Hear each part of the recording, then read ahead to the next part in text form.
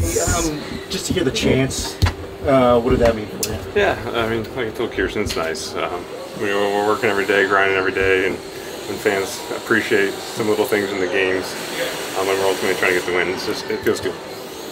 How, how have you felt within the last 20, you know, last 30 games? Yeah. I mean, the Okay. Uh, yeah, you know, I've been feels like I've been treading water all year, but um, you know, still looking at the numbers and they're okay. So uh, just kind of waiting for the really really hot streak, but. Ultimately, my swing's been feeling a little bit better. Been like today, both balls kind of through the middle. Even the double play against Mansply sinker, and I was stay inside of it. So, even though it's uh, an, an out, there's little little wins inside those that create things later in the game. So, feeling a little bit better at the plate. What was working for you guys' approaching against Cody that inning where first six guys were just safe? Uh, I don't.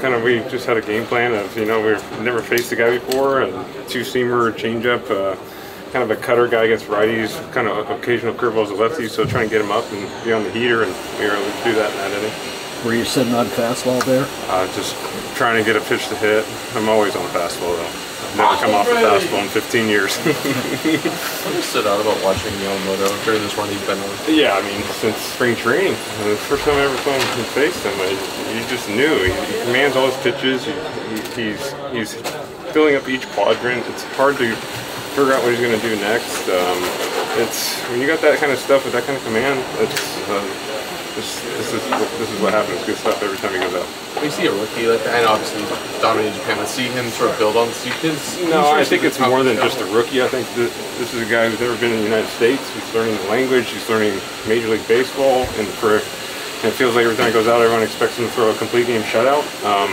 that's a lot on him. So for him to go out there and do what he's been doing these first few months, um, I think it's special. You, you talk about kind of feeling like you've been treading water. Um, I mean, it hasn't been bad, like you said, though. It hasn't. Yeah. You haven't had one of these yet either. Um, have you been frustrated? Have you been No. pretty even keel? How yeah, can kind I never kind of waver. It's a long season. I don't ride the roller coasters. I try and keep the straight roller coaster the whole time. So, um, you know, I just stick with my routine. Um, it's evolving, right, Bill? Um, but you know, just trying to do the same thing every day and just know that it's going to work at some point.